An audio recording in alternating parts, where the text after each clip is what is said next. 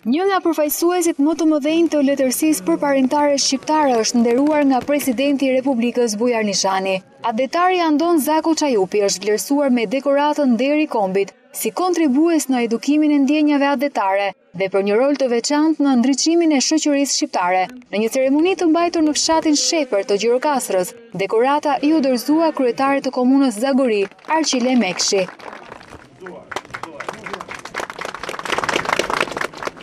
Në fjalën e rastit, presidenti Nishani u shpreh se Çajupi rrahu me zotësi të rrallë çështjet politike, shoqërore, njerëzore, patriotike e morale të kohës, ndërsa satirizoi veset njerëzore.